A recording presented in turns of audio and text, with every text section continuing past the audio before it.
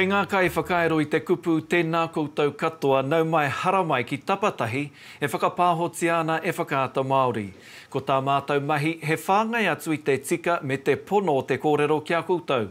Ka tira, welcome to Tapatahi, our new online program that puts your questions to officials and decision makers, shares Māori stories and perspectives, and keeps you informed about COVID-19. Tapatahi literally means to unite and is taken from the well-known Māori song Tūtira Mai Ngā Iwi. And it's all about doing this together. So if you have a question or comment, please let us know. So as we do every day, here's what you need to know in 30 seconds. The latest figures show that 589 people have tested positive with the virus. That's 76 new cases in the last 24 hours. 27 of the 589 identify as Māori and 14 as Pacifica. The other big news is that some New Zealanders living in Australia will be able to access up to 1500 bucks per fortnight in COVID-19 job support. But is it too little, too late? And does it go far enough? New Zealanders on the 444 Special Class Working Visa will be eligible. Businesses will receive a fortnightly wage subsidy up to 1500 per employee as part of a government bid to prevent millions of people from losing their jobs. It's expected that 6 million people will access the JobKeeper payment over the next six months. The wage subsidy will include not-for-profit employees and New Zealanders who work in Australia but are typically unable to access welfare programs. To discuss this further, we're now joined by Clifford and Maria Salmon, who have lived in Perth for more than five years. Tēnā kōrua, and thank you for joining us. Good morning. morning. How are you? Good, thank you. We're also joined by Levi Hodges, who is currently in self-isolation at an Auckland hotel. After being told that there was no support for him and other Kiwis in Australia, he decided to return home. Levi, tēnā koe. Kia ora. If I could start off, uh, Maria and Clifford, with you uh, in Perth, joining us now. How are you? How are you coping? Yeah, we're doing good. So we're actually in day 11 or 12 of full isolation after returning from New Zealand when we went home for a holiday. Um, so it's been interesting. We're in a house. We actually can't go out the front yard, so only the backyard is what we can find to at the moment. And we have deli- groceries delivered as well. So, of course, you had planned a month, uh, a month long holiday here back at home, but you had to cut that short because of COVID 19. Yeah, absolutely. So we came home for um, a beautiful holiday down in the Bay of Plenty, um, and we actually had to cut it short. The minute we noticed that there were DFAT warnings to come back to Australia um, by the Australian government, we sort of were in the position where we go, do we come home or do we stay in New Zealand? Um, and for us, it was really a matter of if those borders do close and we are locked out of Perth or we can't get a direct flight and we have to quarantine another stage, we needed to make sure that we got back here fast enough and that we were safe. So you're in self isolation now. Does that mean that either of you are working? No, no so no, neither no. of us are working. So, Maria, talk to us about your situation. So, you were in full time employment in retail, but now that's been reduced, I understand. Yeah, absolutely. So I work in a large retail company and I oversee WA, South Australia, and Malaysia operations. Um, and for me, we have been now put in the position where we've had to stand team down.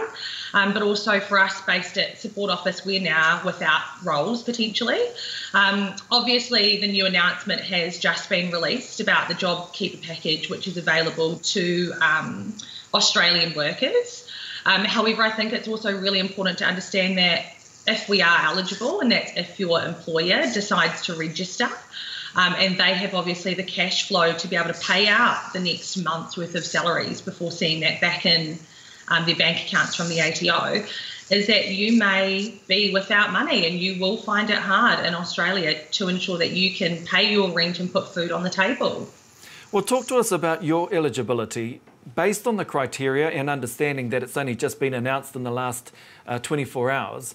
Do you mm-hmm. both qualify for the support that's now on offer?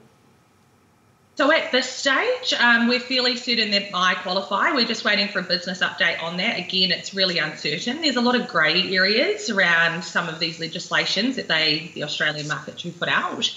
Um, and then as for Clifford, it's really, I guess, uncertain as well in the mining industry and whether or not his employers choose to register as well. So, Clifford, you're currently uh, not working at the moment, um, and you have been working in the mines.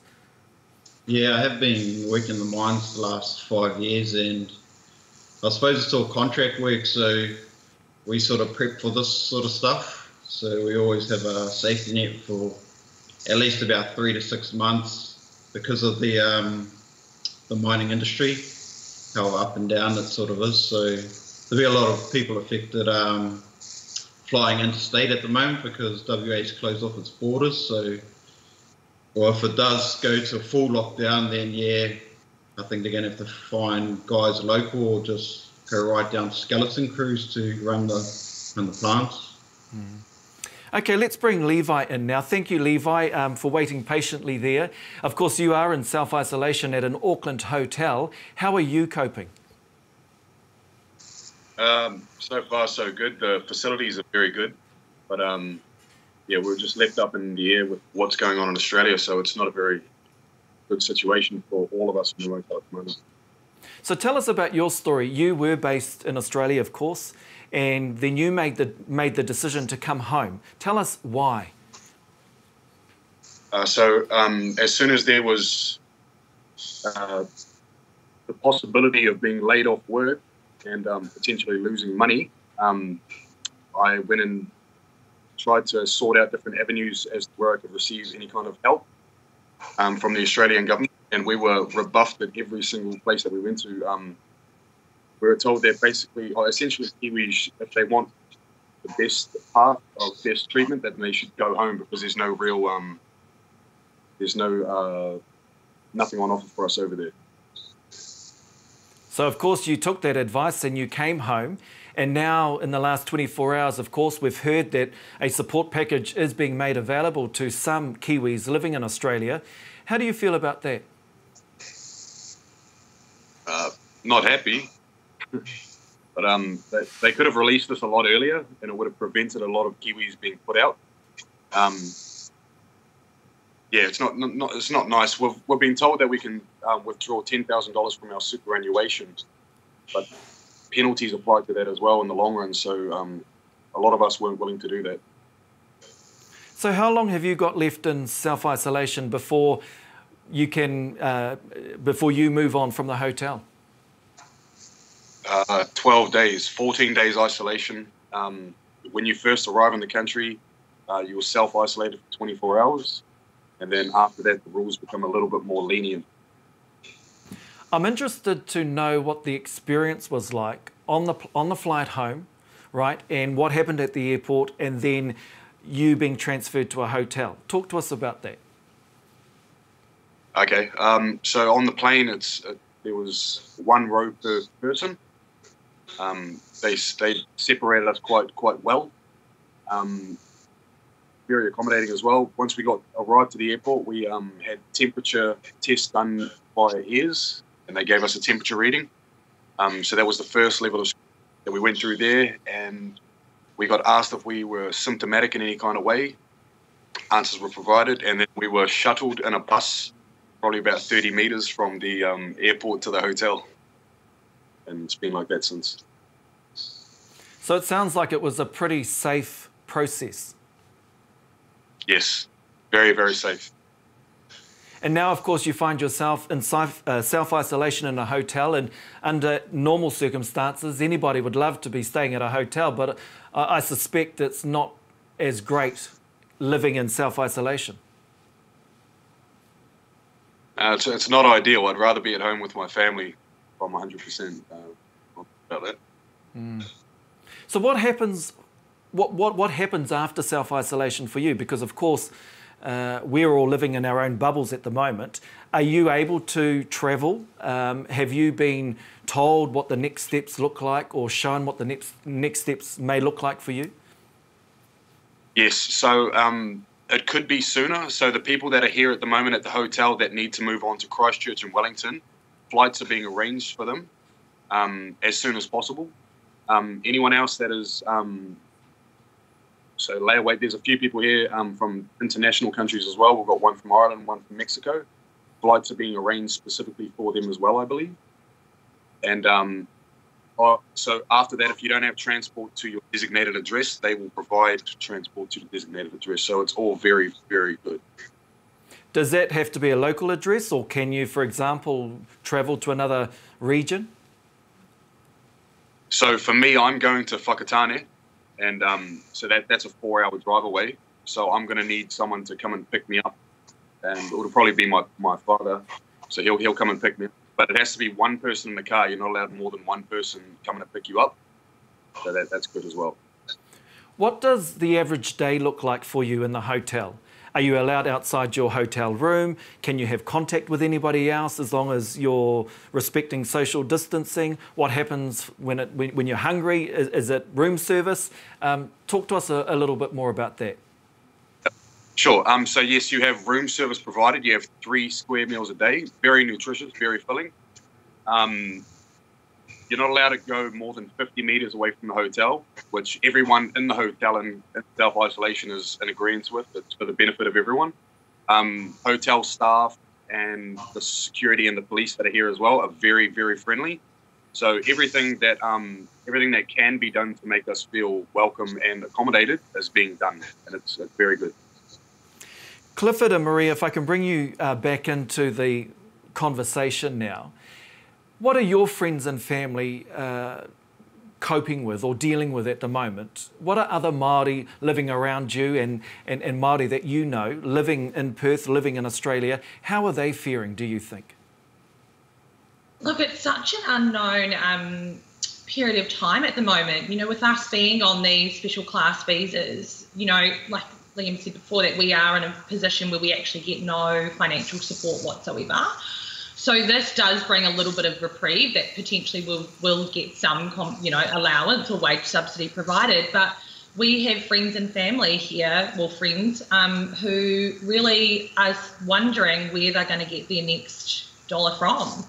You know, they have to think about being able to put food on the table for their family. They've got to be able to figure out can they pay rent, can they pay um, their mortgages, can they pay, you know, to fill the car up with petrol to go to the supermarket. It's a very real situation here. You know, that your whānau could potentially be homeless. And, you know, I think it's really important that as Kiwis, we make sure that we reach out to those that we have here in Australia and we make sure that they are okay. You know, and I think for us, you know, we've got to be very conscious as well that mental health is going to be a very real issue. For a lot of Kiwis that are here, you know, they're proud to be in Australia and they're proud to be working away from home and for some of them, you know, they are actually providing food on the table for their whānaus back in New Zealand. And are they going to be able to do that now?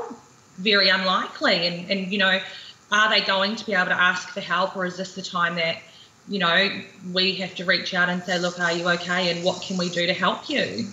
Some people will be making the decision to pack up and, and go back to New Zealand. But again, they're going to be faced with so many difficulties and obstacles trying to get back.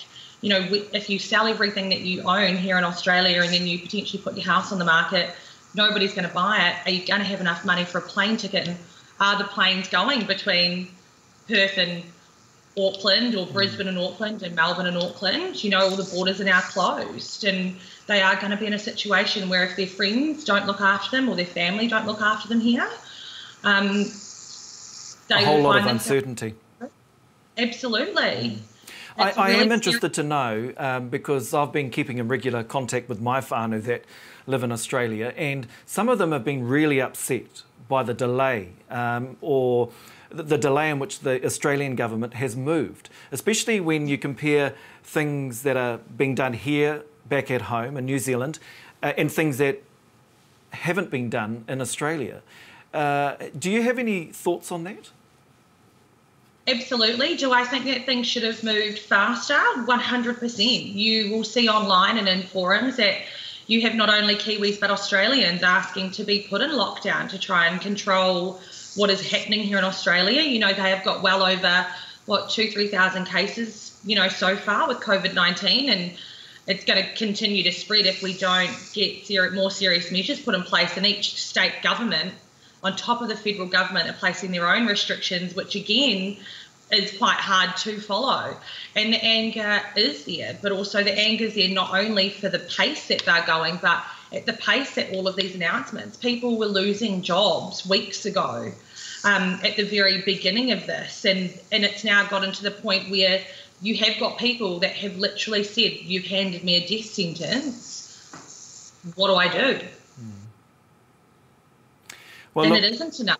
Our hearts go out to you all. We are thinking of you, uh, who uh, all our whānau that are in Australia. So uh, please do take care. We thank you for joining us uh, this morning. And of course, Levi, uh, we'll be in touch again with you, of course, and, and we'll continue to follow your journey as you make your way home back to Whakatāne. Nō reira, e mihi ana mātou ki a koutou. Thank you again for joining us and uh, take care. Thank you. Thank you. Kāti, ki tētahi atu take i naia nei, iwi across the country have mobilised to stop the spread of COVID-19 in their rohe and protect their most vulnerable. From setting up phone lines to receive pārtai from concerned whānau to establishing roadblocks to stop non-residents from entering their rohe.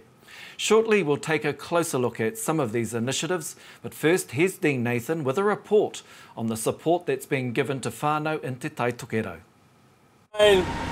boxes of sausages to go to Whangaroa over here. Kei te toha toha i ngā kai hei whāngai i te katoa, a tia kowai. Ko tēnei, ko te tahi o ngā wāhi hei, hei maunga mai i ngā traka i ngā kai. Kei te mahi tahi te kahu o taonui, ko ngā, ko ngā rangatira o ngā iwi katoa o te nōta nei e mahi tahi ana. Kia ko tahi te kaupapa, na haere mai we nei āhuatanga ki kō, ki kō, nā, ko te mea ke me mahi tahi mātou, ngā mea kei runga atu ia mātou, ngā mea kei, kei te hiku, haere mai wā rātou tāngata ki te tiki mai ngā, i ngā mea kei kone, hei mau mā rātou ki, ki, ki te whāngai ki wā rātou ano iwi. Ko Arama Prime te kai whakarite rite, me te kai toha toha ki te pū o te wheke. Uh, the fresh produce, so the apples, onions, potatoes, uh, cabbages, oranges, uh, and sausages, and then there's a lot of the uh, non-perishable like the water, the pasta, the canned fruit, the canned vegetables, oh, and our bread as well. And we've got a lot more uh, kai arriving tomorrow as well, um, so this is just a part of it. Tēnei mahi, mahi tino nui mō ngā hapu ngā iwi katoa, te iwi o ngā puhi. Um, ki te awhi ngā kaumātua kuia, te mea tuatahi, me ngā whānau, ki te awhi, te aroha, kore o mātou a whānau e, e, e mate ai, o e ware o e taimaha. Ko tōna tikanga ko whaikai marika ngā whānau mo te wiki tuatahi o te noho here ki te kāinga. Engari ko te whakaaro, Kia taiki roto i ngā wiki tuarua, wiki tuatoru o tēnei āhuatanga, ka pauhare ngā kāpata kai, ka timata i te rongo i te ngau o te kore kai. We're going to be rolling out our first um, deliveries on Monday, um, and then from there there'll be regular intervals. Um, we're still finalising details whether that's going to be weekly, weekly or fortnightly, whichever is going to have the lowest amount of risk for us is, is probably the route we'll take. Ia hatia e kōrero mea mai ana e te kāwanatanga mo te whāwiki, tā mātou mahi kia tuatu, kia māra mai tā mātou tiaki wa mātou, tō mātou iwi mai i tāmaki ki te rerenga wairua. Dean Nathan, te ao Māori. Well, joining us now are two, hopefully three shortly, iwi leaders who are at the coalface working to support and protect whānau. We're still trying to reach Mere Mangu, the chair of Te Runanga Aiwi o Ngāpuhi, but joining us right now is Rawiri Waititi from Te Whānau Apanui and Chief Executive of Ngāti Whātua o Rākei Whai Maia, Rangi Mārie Hunia. Tēnā kōrua. Kia ora. Kia ora, Shane. Let's start with you both by talking about your whānau and uh, how are they coping based on what you understand, your intel, you're at the coalface working with your whānau right now. How are they coping right now? Sorry, maybe if we start with you, Rawiri, and then we'll come to Rangimārie. Okay, kapai. Um, so this is COVID-19 is actually guiding the speed in which we react to this uh, particular kaupapa. Um, and um, so we're, we're having as, as you go along, you're trying to do your best to ensure that COVID 19 has no opportunity to catch a ride with somebody into the iwi and find a host. Um, so our, our messages right from the start um, have been to ensure that we, we stop non-residents, um, tourists, uh, campers, and all those, and, and outside fishermen, to stop them from coming into the iwi, um, and to ensure that we keep the 200 vulnerable pakeke that we have in this iwi uh, safe. Um, so therefore, we've we've had to put some processes in place, uh, albeit hard for some of our people because the world has changed in the last two weeks. Um, it, it's it's a we're having to change our behaviour. Uh, we're having to change the way we look at um, uh, the different ways we do things in terms of shopping and things like that. So we've had to put some some pretty strong processes in place, and it's taken our iwi uh, a little bit um, of time to get used to, but we will get there uh, with some hard work um, and some collaborative thinking and strategies put in place by the iwi. And we finally see your face there, uh, Rawiri, te nākoe. And I say yeah. that because uh, for the duration of that kōrero, unfortunately our viewers had to look at me. Anyhow, uh, moving on, Rangimārie, how are your whānau coping? How, how is Ngāti Whātua coping? Yeah, mihi ana ki a koe Shane. Uh, look, I think um, our people are phenomenally resilient. Um, Ngāti Whātua has, has got the majority of its population from Waikato through to the north. So we've got about 85% of our population, uh, you know, pretty close to us, and the majority of our whānau live in Tāmaki. So the way that we're responding, particularly to our Ngāti Whātua whānau, is really uh, taking a, quite a regional approach. We quite a lot of time the last week engaging all of our customers. So that has been our, uh, we have run more. We have uh, started sending out a whole lot of support mechanisms, kai and bits and pieces. Uh, and we've also started asking questions around risk factors and health needs because it's not just COVID 19 asking us to respond in really different ways. It's changing really quickly. Uh, and we're prepared to be able to do it as well as plan for. So there's a bit of, I think, thinking. I'm sorry, Rangimārie, I'm going to have to jump in there because we're having issues hearing you and with your audio. But uh, while the team out back uh, fix that, um, I'll come back to you, Rawiri. So you've been out there blocking the roads, blocking access to your region. How's that been going? Um, yes, no, we've had, um, it's been pretty positive um, outcome in terms of that. It's been a localised way we're doing things here at Whānau-ā-Apanui. We're working alongside our regional council, um, and also with our local police um, to ensure that what we're doing is has been done uh, in a safe uh, way to, to ensure that we, we're fulfilling the obligation that we um, that we've put out to protect our people. Um, so we've we've also got a, a big shopping uh, process in place now where people are doing job loss borderline um, to, to ensure that we're not allowing this disease to have an opportunity to jump on somebody and come to the iwi. So, um, yeah, so this has been a huge um, lot of thinking and a lot of planning around how we do this uh, more effectively. Um, and we're still uh, feeling our way through this particular process, but our number one um, objective is to ensure that we cut down the risk and um, ensure that this ngangara doesn't find a way into the union.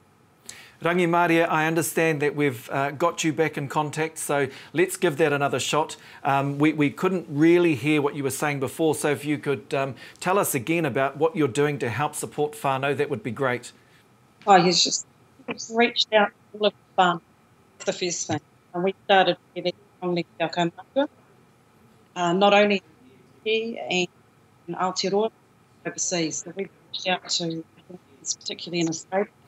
I'm sorry, Rangi Maria, e mihi atu ana kia koe, but, but, but we still can't um, get a solid signal from you. Unfortunately, right, whānau, this is what we have to contend with when we're using uh, online social media to be able to connect with one another. Um, but we'll still see what we can do out back to try and uh, restore that audio signal uh, with Rangimārie. So we're back with you, Rawiri. Um, Rawiri, so I'm interested to know and understand how many people did you have to turn away? Did you have to ask to turn around as a result of them uh, coming to your blockades?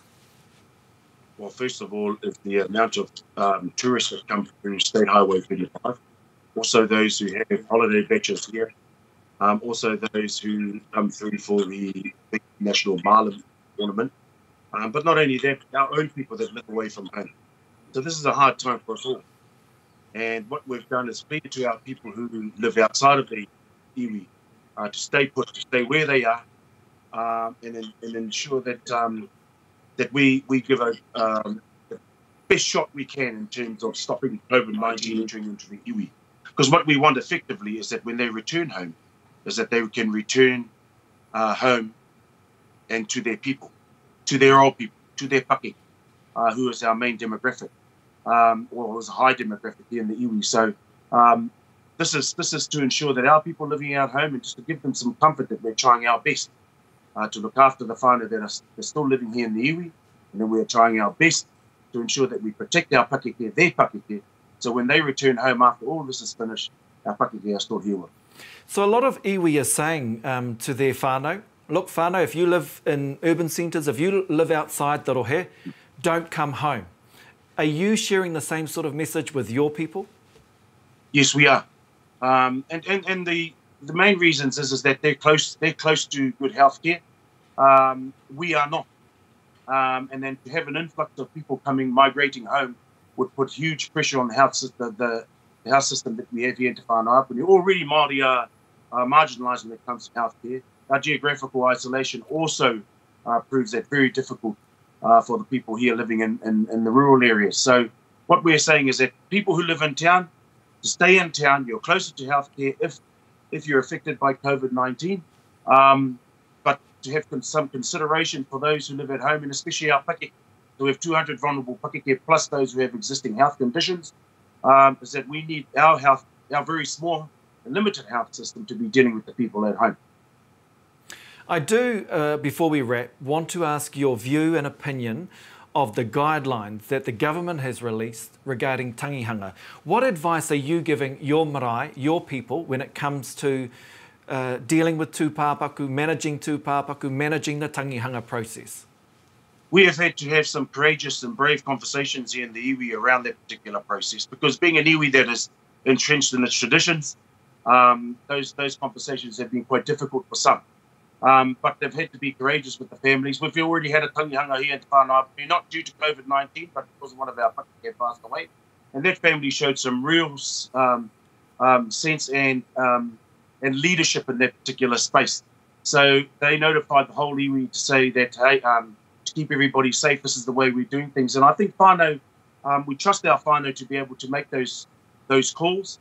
And we've left it with whānaus. All the maraes are closed. They they are, are consulting with their ministers and their tohunga of their hahi um, to ensure that they can work through a process.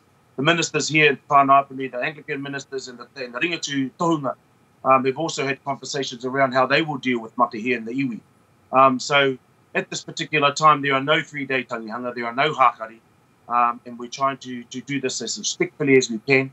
In 1918, when the Spanish flu hit Whānau um, there were just mass, mass there was a one whole a mass grave uh, for those people who were affected by the Spanish flu back in 1918. We've got tombs here that remind us of that.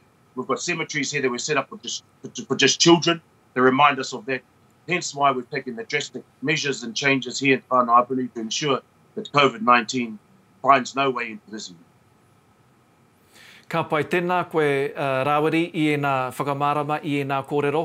Me tō whakawāte i a koe anō kia mātou whakaata Māori, e mihi ana mātou kia koe otira kia koutou. Kia ora, tēnā tātou. Kia kaha kia tātou i tiwi Māori. Kia ora.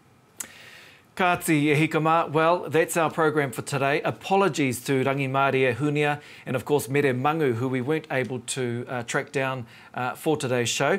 But who knows, we'll hopefully have them back here uh, someday soon. Well, those are uh, that's our kōrero and that's our show for today.